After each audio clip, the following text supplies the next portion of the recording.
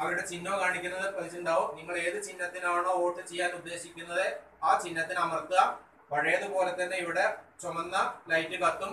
അത് കൂടാതെ തന്നെ പഴയതുപോലെ പണ്ട് കാലത്ത് നമ്മൾ ചെയ്തതുപോലെ സ്ലിപ്പിൽ വോട്ട് ചെയ്യണ പോലെയുള്ള ഒരു സ്ലിപ്പ് ഇവിടെ കാണാൻ കഴിയും നിങ്ങൾക്ക്. നിങ്ങൾ വോട്ട് ചെയ്തു കഴിഞ്ഞാൽ.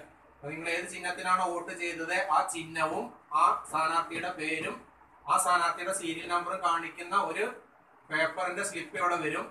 അതൊരു ഏഴ് സെക്കൻഡ് ഇവിടെ അങ്ങനെ തൂങ്ങി നിൽക്കും. അതിനുശേഷം അത് ഇതിനടിയിലേക്ക് വീഴും. അപ്പൊ അങ്ങനെ രണ്ട് രീതിയിൽ നമുക്ക് വോട്ട് രേഖപ്പെടുത്തപ്പെട്ടു.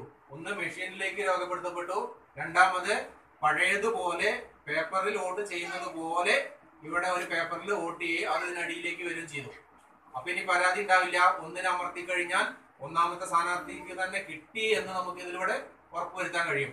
രണ്ടാമത്തെ സ്ഥാനാർത്ഥിക്ക് ചെയ്ത് രണ്ടാമത്തെ സ്ഥാനാർത്ഥിക്ക് തന്നെയാണോ കൊടുത്തിരിക്ക വന്നിരിക്കണത് എന്ന് നമുക്ക് ഇവിടെ വെച്ച് പരിശോധിക്കാൻ കഴിയും. ഇതിൽ വരുന്ന വോട്ടുകൾ നമ്മൾ ഒരിക്കലും എണ്ണേണ്ട ആവശ്യം നമുക്ക് വരില്ല. വോട്ട് എണ്ണുന്ന സമയത്ത് സ്ഥാനാർത്ഥികൾ ആരെങ്കിലും ഒരു പരാതി പറയുകയാണ്. ഞങ്ങൾക്ക് വി വി പാറ്റ് എന്താണ് സ്ലിപ്പ് പ്രകാരമുള്ള വോട്ട് കൂടി എണ്ണണം എന്ന് പറഞ്ഞാൽ നമുക്ക് ഇത് എണ്ണാം. ഇത് എണ്ണി കഴിഞ്ഞാലും ഇതിൽ പറയുന്ന അതേ വോട്ടുകൾ തന്നെ ആയിരിക്കും വരേണ്ടത് അപ്പൊ അതൊന്നും കൂടി ഉറപ്പുവരുത്താൻ വേണ്ടി ഈ ഒരു സംഭവം കൂടി പുതുതായിട്ട് ഇനി വോട്ട് ചെയ്യാൻ പോകുമ്പോൾ ബൂത്തുകളിൽ നിങ്ങൾക്ക് കാണാൻ പറ്റും. ഓരോരുത്തരും ഇവിടെ വന്ന് വോട്ട് ചെയ്യുക. വോട്ട് ചെയ്യുമ്പോൾ ശ്രദ്ധിക്കേണ്ടത് ഈ ബാലറ്റ് യൂണിറ്റിൽ ഇവിടെ ഒരു റെഡി ലാമ്പ് ഉണ്ട് പച്ച. ഇത് പച്ച കത്തിയണോന്ന് ഉറപ്പ് വരുത്തുക.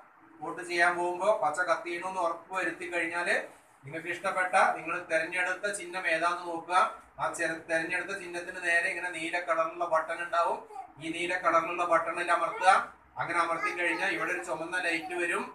അപ്പോൾ തന്നെ നിങ്ങൾ ചെയ്ത വോട്ട് ഇവിടെ പേപ്പറിലായിട്ടും വരും. മെഷീനിൽ ചെയ്യുന്നതോടൊപ്പം തന്നെ ആ വോട്ട് ഇവിടെ പേപ്പറിലായിട്ട് വരും. അത് ഏഴ് സെക്കൻഡ് അവിടെ അങ്ങനെ തൂങ്ങി നിൽക്കും. ഈ ബീപ്പ് എന്താ ഇവിടുത്തെ ചുമന്ന കത്തി അത് താഴേക്ക് വീണ് ഇവിടെ ഒരു ബീപ്പ് ശബ്ദം കേട്ട് കഴിഞ്ഞാൽ നിങ്ങളുടെ വോട്ട് മെഷീനിൽ രേഖപ്പെടുത്തപ്പെട്ടു പേപ്പറിലും രേഖപ്പെടുത്തപ്പെടും അപ്പോൾ വോട്ട് ഒരാൾക്ക് ചെയ്യുന്ന വോട്ട് വേറൊരാൾക്ക് പോയി എന്നുള്ള സംശയം വരില്ല. നമ്മൾ ചെയ്യുന്ന വോട്ട് നമുക്ക് തന്നെ പരിശോധിക്കാം. അതിനാണ് ഈ വി വി പാറ്റ് മെഷീൻ കൂടുതലായിട്ട് ഇതിൽ ഉൾപ്പെടുത്തിയിട്ടുള്ളത്. ഇനി ഇവിടെയുള്ള ഓരോരുത്തരും വോട്ട് ചെയ്ത് നോക്കുക.